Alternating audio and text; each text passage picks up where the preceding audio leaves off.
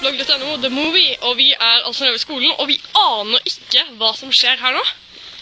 Det ser ut som at det er masse biler som er parkert på fotballbanen. Det ser jo ikke ut, det er det de har gjort. Det er mange der oppe også. Og der oppe, og inkludert der oppe. Og det er jo liksom i skoleplass, på skoleplassen, og nå skal vi egentlig til Kiwi. I Veske. Hvordan har du å, Hvordan har du det, Maren? Har du det fint? Jeg har det kaldt. Er du kald? Ja. Jeg har hull i genseren. Jeg er ikke kald. Se. Film. Ok. For å vite hva som egentlig skjer her. Mia, du er ganske damete nå. Damete, ja.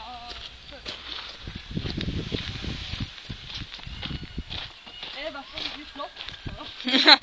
ja, for det Jeg er skikkelig harrytass. Nei, det er jeg ikke. Jeg er ikke harry. Å, faen er det som skjer? Det er utlendinger her. av dette virker ikke bra. Å, det var ikke Alex. Jeg trodde det var Alex som spilte ambulanse.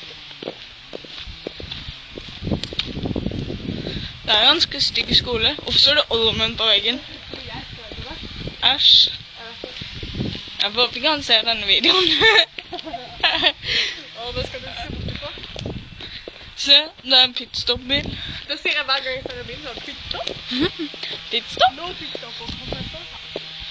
Ja, ja, ja. ja. Husker du når jeg og du og Gina og hvem andre var det som satt der?